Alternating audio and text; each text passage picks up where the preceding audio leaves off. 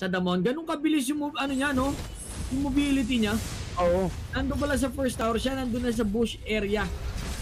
Just to make sure na hindi ata sila mag maging yan. Oo. Ay, hindi siya naman invade, especially with the drop. Firaga armor will be pop. May part sa akin na maganda ang Firaga armor pag natatanggal sa early kasi mas nakakatsani ka. Ay, totoo. Flinch eh, di ba? Hmm, ka, knowing na oh, knowing na wala pa naman masyadong uh, ganong kalaking damage yung kalaban. May utilize mo talaga yung ano eh, yung uh, pang ano may panchani mo eh. Pero right now, ay, akala ko yung actually hindi sila makakakuha ng repolyo.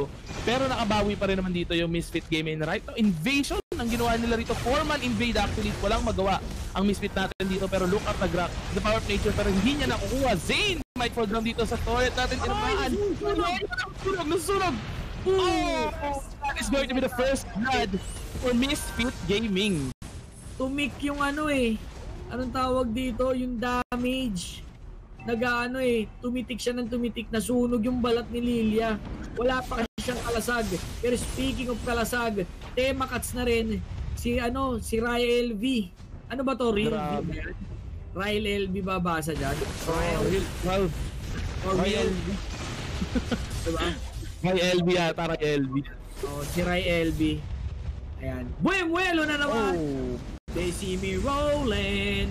They hate They me. it. Tama ng araw. Nahilo pa. Ayun na. The power of nature coming from Oh, the bang. Oy! Clear up. Hold. Hindi niya nabitaw. Nakansel yung poder. Oy, tinamaan dito ng Abyssal Trap. Si Lina pipilitin yata pumasok into the turret pero buhay pa rin yung X-Berg natin.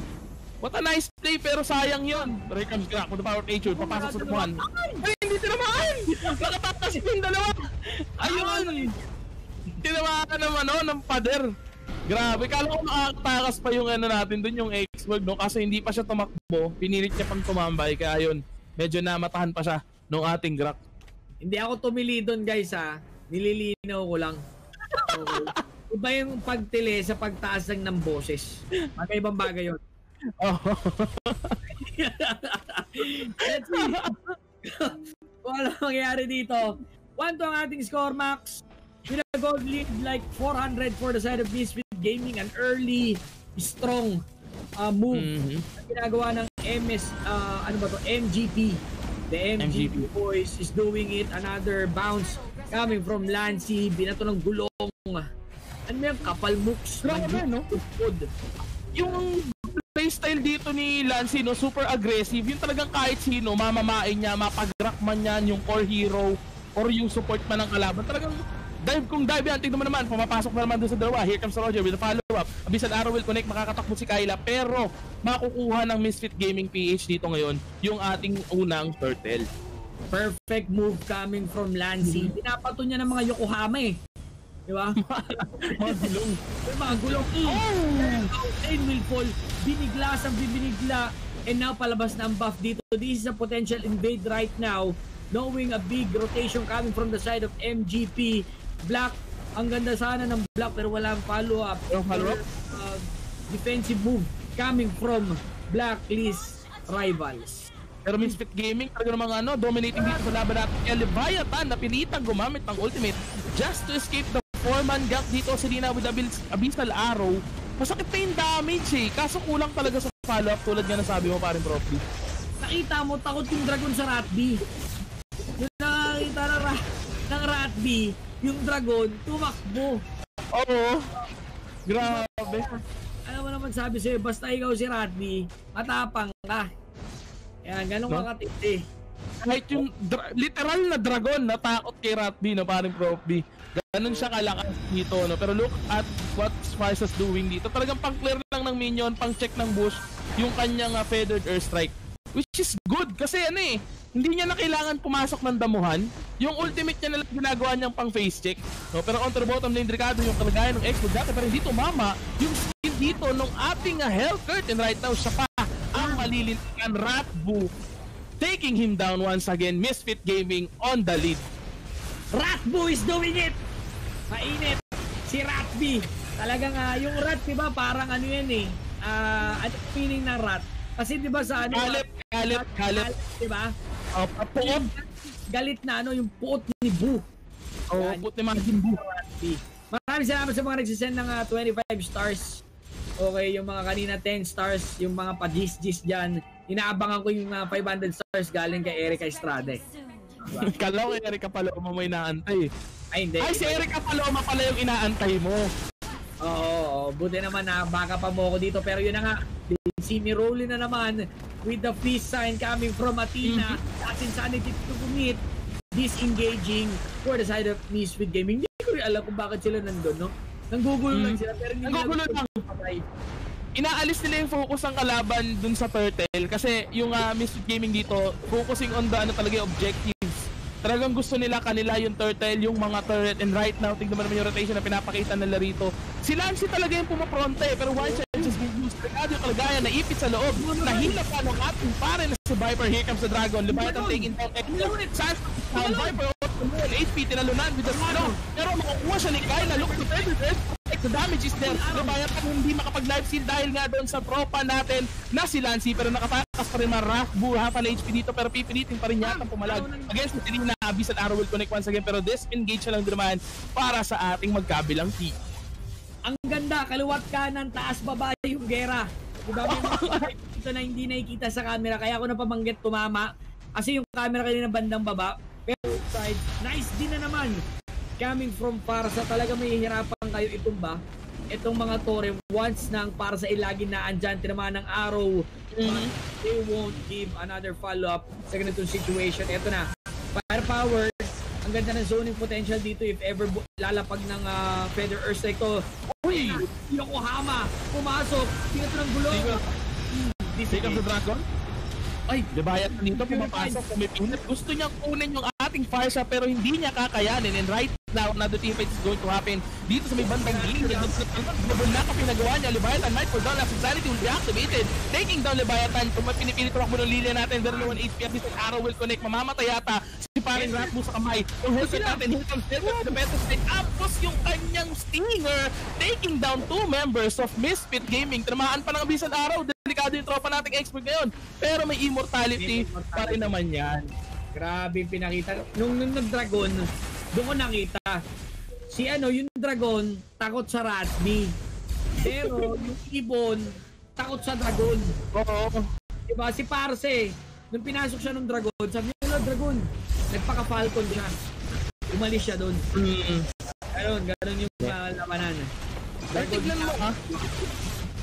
Parang bro, kanina misfit Amy yung lamang and right now, dikit na dikit na lang din yung pera niya no na Blacklist Rivals na yung may hawak ng gold lead sa laban natin yan. Pero item check na lang din naman tayo. Brute Force Breastplate para dun sa usong natin ha. Nag ano to ah, bagong ah, item set to para sa akin kasi usually nakikita ko after the Bloodlust Axe. Queen Swings na kagad. Eh, help dito may BOD kaya pala masakit na rin whilst the other team Deadly Blade agad. Ay talagang ayaw pa ano yan. Pahilin dito yung usong parang Prof B kasi look at item of thumbs. Deadly Blade. Nakaka nga ng Deadly Blade niyan. Alam mo, speaking of the armor, yung uh, brute plate dito ni uh, Yuzong.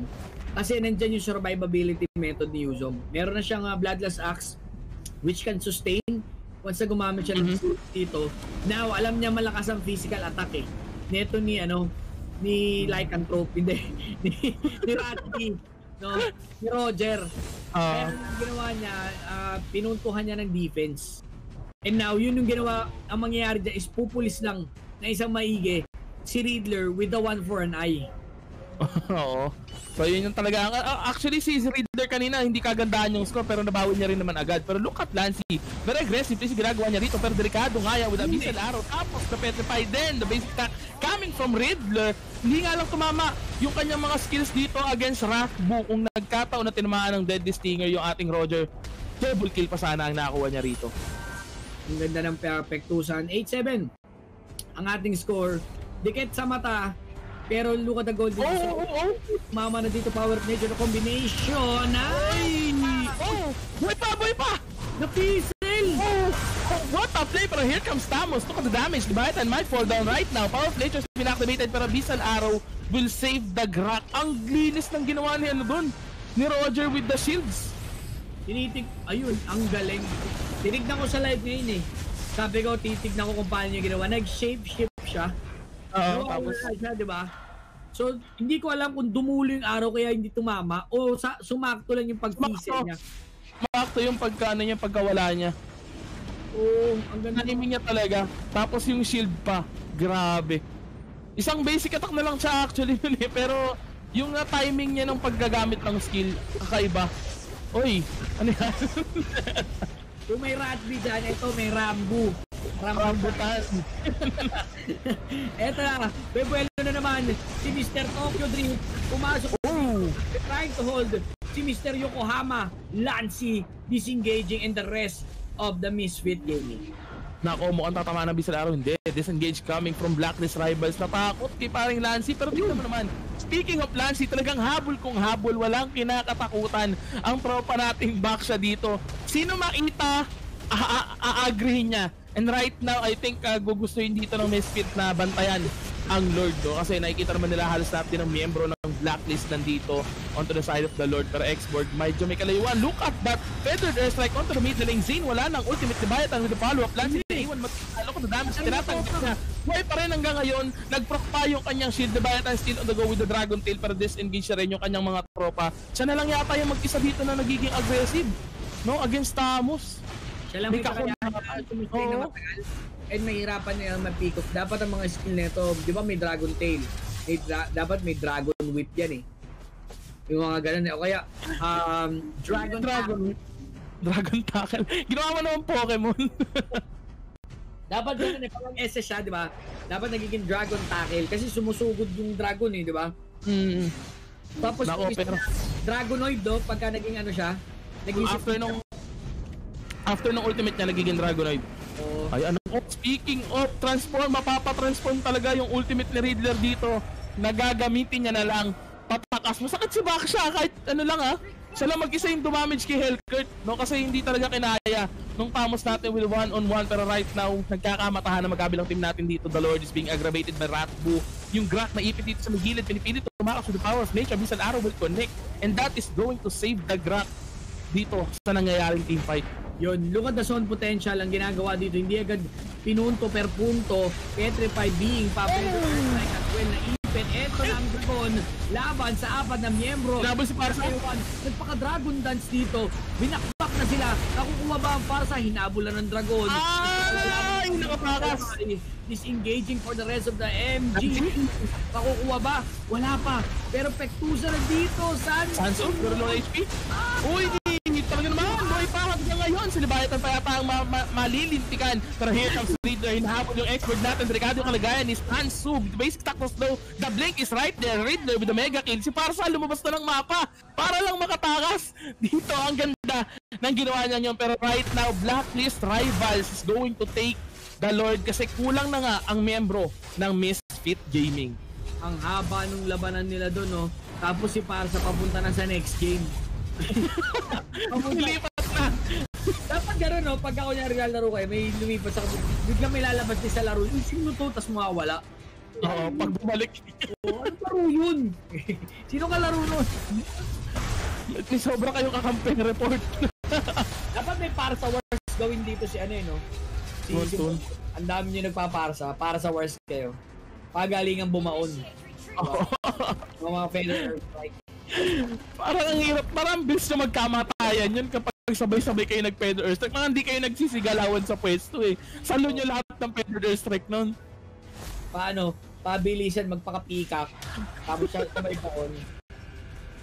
Ayan, pero right now, the Lord is marching onto the middle lane, Barry Profi, and Misfit Gaming is doing their best to defend their homeland. Maraming pinupush ang Blacklist Rivals dito. Hindi nila alam kung saan sila una magde-defend, pero makukuha nga rin nila ang Lord successfully onto the middle lane. Pero here comes the Bayatan, very aggressive. Talagang sinasagasaan niya lahat ng pinapasinok niya isa-isa.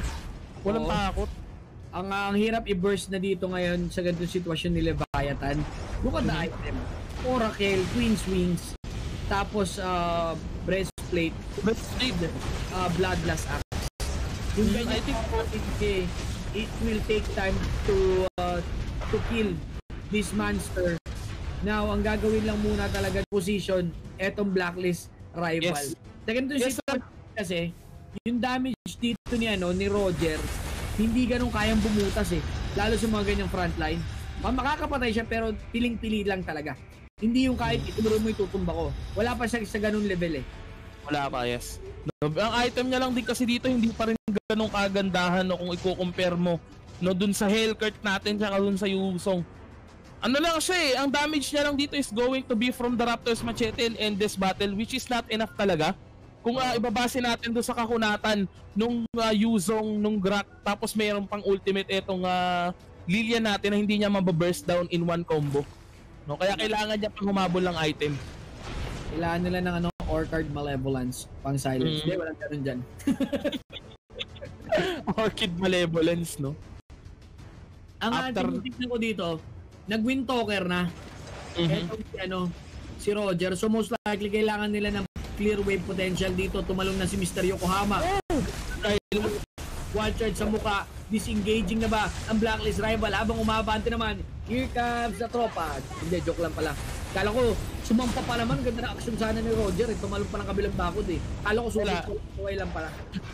nag ano lang, nag, uh, ano lang, nag-defense lang ng uh, mga minion dito. Misfit Gaming is doing their best para makahabol nga. Yun, tulad ng sabi natin, pinipilit na nilang mag-farm ng mga items dito ng gold ng minion para magkaroon sila ng sapat na damage. X-Borg actually, I'm waiting for the X-Borg to pop off in, the, uh, in this match. Kasi kadalasan, di ba, during the late game, X-Borg na talaga. Yung nagdadala with the last insanity, yung mga sunog niya, the item set niya. Ano bang item ng X-Borg natin dito? Glowing one, going for the BOD. No, lumigo siya dito.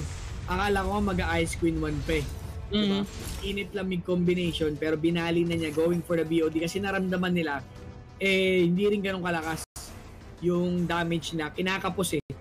Aasahan nila eh. perfect last insanity and uh, let's see kung paano nila ipapasok pa the rest of their damage going in a very mm. aggressive naman Yusong trying to Speaking stop the earth strike pinitaw oh. ang dragon kala nyo ba kayo lang makakatakas ako din Tandaan mo, bago ako naging dragon, naging ibon din ako. Oo. naging ibon ba si Yuzong dati? Oo. Oh, bago nag-pat, kung tinignan niya. Nako! Ng server. Mm. Naging ibon pala yung tropa natin ni Yuzong dito pero Riddler has been picked off already by Misfit Gaming. Napakalaking bawas nun on the side of Blacklist, Rivals, and Right of the Lord. Inulog. Inulog. Inulog. Inulog. Ang dumi sa Kensa. Parang to, mga meto ka, wag magpapaswab test ka muna. Pero, oh my God, patay yung ating ibon. Pero Grat pa rin ang umahabol sa Roger natin. Pinipilit tumakas, inahabol dito ang Misfit Gaming. Medyo nahihirapan sila, ibig wala na yung Hellcurt natin. Leviathan still on the go. Wanting Ratbo to be taken down. Talagang pinasilok, pinasok ko the Dragon Tail. The Snow will connect. Pero hindi siya makakapas sa loob ng base 2 man knock up. The follow up is here. Here comes Sansos. Tamang tunog lang. Pero delikado yung kalagayan ng Ratbo dito. Azi tatakbo pero hindi makakatakas. The flicker is there. Actually makakatakas pala kasi may flicker pa yung Grak natin dito. Kala ko nagamit niya eh. Kala ko on cooldown. Sayang. Nagmistulang sunshine si Ratby habang inahabol si Azzy. Azzy. Azzy. Yan. Inahabol niya ng isang maigi doon si Grak.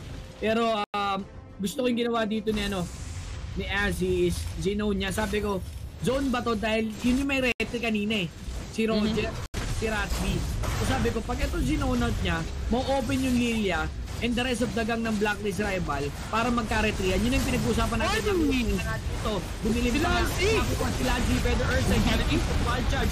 Bumayim na bandang likuran, masyadong malalim. Etong dragon ni Pudo, disengaging na Nahabol! Si Senki, hmm, sinusunog na. Uy, sarap ko na mga Ang ganda ng pagkaharang, disengaging. Ang Misfit Gaming Blacklist Rival is doing it. Grabe, speaking of blacklist rival, El Hellkurt was almost taken down by the X-Borg doon with the last insanity pero the blink on last second save din sabi ko wala baka mapipick offan pa yata yung blacklist rivals pero hindi nila nagawa yun instead sila pa yung na pick offan which is si Lancy no uh, pinilit ni Lancy na subukang agawin uh-huh. yung ano, pero hindi niya inabutan because Lilia yan eh Lilia Hellkurt alam mo natin yung damage output ng dalawang hero na yan kaya hindi talaga niya kayang abutan. Yeah, speaking of damage output, na naman naman Dragon.